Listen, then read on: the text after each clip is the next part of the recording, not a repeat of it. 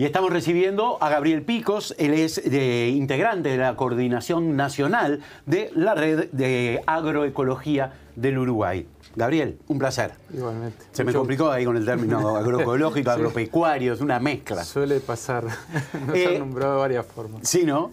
Hace algunos días eh, se realizó aquí un foro binacional eh, que los integra a ustedes, ¿no? Sobre la Pampa, ¿verdad? Sí, fue un, eh, es un encuentro organizado en, en Libramento.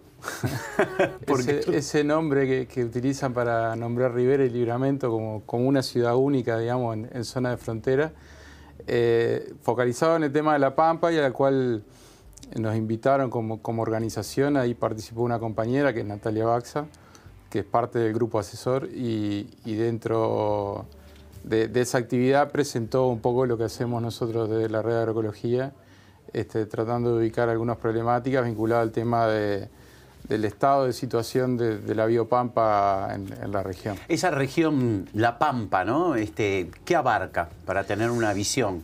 Y básicamente es Uruguay, el, parte sur de, de Brasil, Argentina, un poco de Paraguay. ¿Es una región que tiene algunas similitudes Sí, yo ahí para no- denominarla?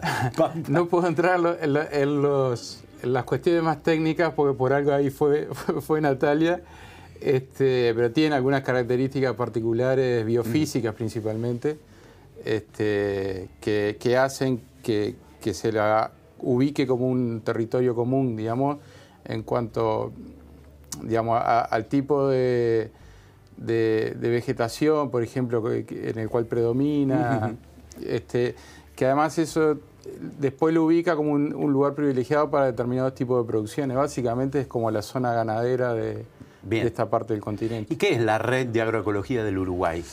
La Red de Agroecología del Uruguay es una organización que se crea en el 2005, en mayo del 2005, a partir de, de antecedentes y de, y de otros grupos que ya venían trabajando desde hace más de 30 años en el país, como la Asociación de Productores Orgánicos del Uruguay, el Centro de, eh, Tecnologías Apropiadas, eh, la Comisión Nacional de Fomento Rural, eh, Redes Amigos de la Tierra, una serie de organizaciones que en el 2005 crean la Red de Agroecología en el marco de la discusión de un grupo de trabajo sobre las normativas vinculadas a la certificación orgánica. Certificación orgánica es decir, darle un certificado a un productor orgánico de que eso está, eh, eh, fue cultivado o producido con determinadas condiciones. Exacto. La certificación implica, es una certificación a los procesos productivos que esos agricultores en determinado lugar, una- un predio, una chacra, realizan bajo determinados eh, acuerdos de prácticas que, que tienen que respetar. Correcto. Entonces, eh, eso se estuvo discutiendo en esa época, eh, que es un poco lo que hoy día está nuevamente sobre la mesa, que es toda la discusión de, de las normativas vinculadas a la certificación. Entonces, la red surge en ese, eh, eh, en ese contexto. Incluso a partir de ahí es que nosotros tomamos como propia la figura jurídica de la Asociación Certificadora de la Agricultura Ecológica del Uruguay, ACAEU, que era un- una certificadora que fue- empezó a funcionar a partir del, del 96 y que fue reconocida a través de un decreto en el 99. Eh, en el acuerdo de esta conformación de la red de agroecología, eh, la, la red toma esa, esa figura jurídica y a partir de esa figura jurídica es que nosotros empezamos a conformar un, lo que llamamos un programa de certificación participativa que eh, hoy día se conoce más como sistemas participativos de garantía, porque es como se los conoce a nivel mundial, digamos. Este, y, y a partir de ahí es que comenzamos nosotros en esa, en esa tarea de la certificación de los predios orgánicos y ecológicos. ¿Y qué quiere decir el sistema participativo de garantías? Básicamente el sistema participativo de garantías es un sistema que se construye como alternativa al otro tipo de sistemas que, está que predomina, que son lo que se llaman los sistemas de tercera parte, que habitualmente son empresas que van y certifican a los predios, que no, no pertenecen en nada a ese, no tienen vínculo ninguno, salvo en ese, en, en ese acto de, de auditoría con esos agricultores, pero que son empresas cuya finalidad es el lucro y, e incluso ahora hay, eh, la mayor parte de las empresas integran conglomerados transnacionales. Este, la más conocida acá en Uruguay es Control Union, que es una de las que certifica la producción de, carne orgánica que se exporta en el país, por ejemplo. ¿Y, pero, ¿y cómo funciona hacia adentro de la red este sistema? este sistema ahí, lo, que sucede es que estos, estos sistemas de tercera parte son sumamente caros, eh, son inaccesibles para quienes provenimos de la agricultura familiar y en realidad el sistema participativo se construye como una herramienta de certificación propia de, esta organización de, agricultores con una intención de bajar los costos y poder hacer un proceso de certificación accesible y que además nos permita fortalecernos como organización a, la red. Entonces ahí lo que se conforman son comités de ética. Nosotros nos dividimos en siete regionales, eh, eh, ocho somos en este momento con, la incorporación de, de la regional Paysandú. Eh, cada regional tiene una coordinación de la regional y después tiene un comité de ética.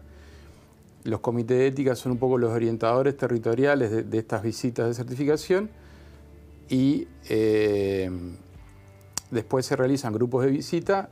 O todo esto debería decir se realizaban, porque en realidad nosotros ahora, desde el 14 de julio, toda esta, 14 de julio del año pasado, toda esta actividad de certificación fue inhabilitada por el Ministerio de Ganadería y eso es un poco parte de, lo que estamos tratando de recuperar en este momento. ¿Podría decirse que la garantía de participar todos es una especie de blockchain, de, donde todo el mundo tiene la información del otro y eh, eh, brinda esa garantía, esa seguridad? Teníamos, por ejemplo, tenemos en este momento esa discusión con el Ministerio, que ellos, que ellos desde el Ministerio de Ganadería nos plantean la necesidad de que, que las auditorías sean confidenciales y nosotros, por lo contrario, lo que decimos es Primero que nuestra certificación es voluntaria, entonces no hay nadie que esté obligado a hacerla. Y en segundo lugar, de que en realidad colectivizamos toda la información. O sea, para nosotros el otro predio no es una competencia a la cual yo tenga que ocultarle cómo hago para que mi manejo sea de la mejor manera en la producción ecológica. Sino que si yo encuentro una forma, por ejemplo, controlar una plaga, controlar hormiga, eh, algún tipo de hongo, lo que fuera, esa información es colectivizada a la interna de la organización y tratamos de, incorporarla entre todos y en el intercambio es donde nosotros como, como agricultores es que podemos este, crecer. Porque para entender, si yo digo que, mm, que vendo productos orgánicos, ¿no? que mis productos son orgánicos, y no son así, estoy compitiendo, compitiendo deslealmente. Porque tal vez uno no se dé cuenta, o sea, el consumidor final se come una lechuga si es orgánica o no. Por el sabor, te digo. De repente, al ojo, entendí, uno va a la feria y hay veces que las lechugas están divinas y otras no. Sí, uno no, puede. Ahí, eh, en todo esto de los sistemas de certificación, evidentemente lo que se juega como, como eje principal es la confianza.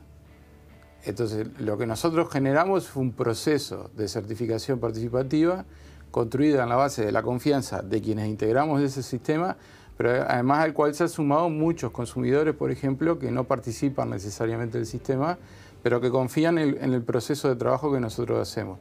Nosotros para eso lo que hacemos es transparentar todo el proceso. De hecho, parte de los compromisos que tienen los agricultores y las agricultoras cuando, cuando certifican es que tienen que dejar las chacras a, puertas abiertas, digamos. Hay un compromiso de quien quiera que quiera ir, eh, tiene el número de operador, eh, el número de teléfono, puede eh, coordinar para ir, visitar y tiene derecho a conocer ese, predio. O sea, tenemos como esa política de transparencia y de, apertura de, lo que hacemos. Entonces, a partir de ahí nosotros construimos esa confianza. Después hay otros que confían en, más en esta otra estrategia de una certificación de tercera parte, que supuestamente más objetiva, más este, sin involucramiento.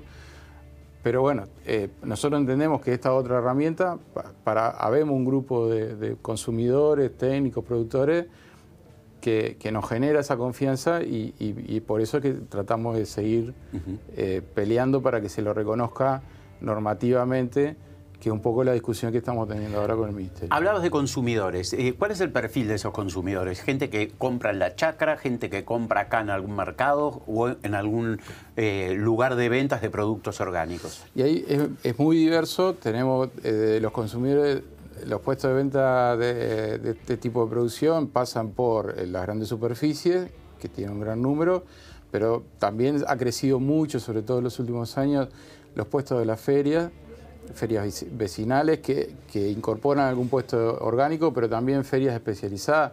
Hay una en realidad que es histórica, que es la Feria del Parque Rodó, que está desde la década del 90. Se han incorporado dos ferias más en Montevideo, eh, en el centro y en el Parque Posada.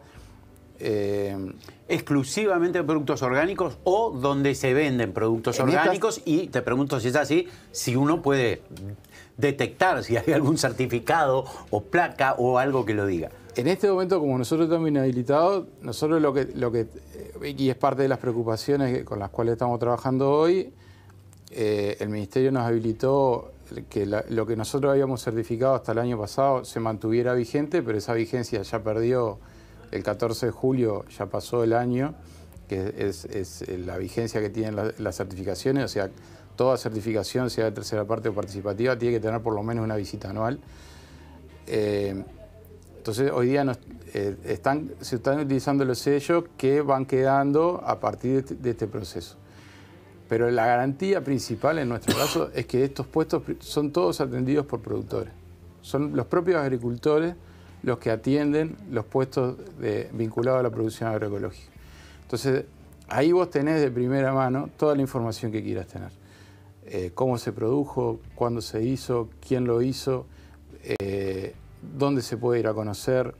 Entonces, eh, en, este, en este tipo de puestos, la garantía mayor está en quien lo está vendiendo, que es el propio productor de esos alimentos. Ya en otros lugares, como las grandes superficies, ahí es donde estamos viendo que, pueden haber algunas dificultades, pero que bueno, es parte de este proceso de discusión con, el Ministerio en relación a, los cambios de normativa que se están realizando. Eh, en cuanto a la cría de animales, eh, ¿hay una forma agroecológica de hacerlo? Hay, en Uruguay es muy difícil porque tiene una serie de dificultades que eh, muchos de nosotros no hemos podido levantar, incluso colectivamente. Para darte un ejemplo, uno puede producir bajo todas las normas ecológicas eh, una oveja, un, un, cerdo para venderlo como carne, carne orgánica, pero no tenemos donde faenarlo como carne orgánica. ¿Porque implica una faena diferente? Implica el mismo, un tipo de faena que eh, se haga en un, en un local de faena que esté habilitado para faena ecológica que no cambia mucho, solo que, no tiene, lo que se mantienen son como la, que no haya eh, contaminación cruzada, vamos a decir, de otro tipo de, carnes, o que no haya posibilidades de que se entreveren eh, carnes de otro tipo. Entonces, lo que es todo el proceso lo que intenta eh, controlar y, estar atentos es a la, a trazabilidad de, que ese producto realmente se mantenga en todo su en todo ese proceso como, como ecológico de principio a fin. O sea, un frigorífico este, sería, ¿no? Bueno, frigorífico, sí, bueno, la parte de, la faena sí, este, pero orgánico. Claro, eh, ahí la dificultad es que son pocos los, frigoríficos que están habilitados, que digamos, lo hacen principalmente para exportación, lo hacen en volúmenes que para nosotros que somos pequeños agricultores no lo podemos hacer.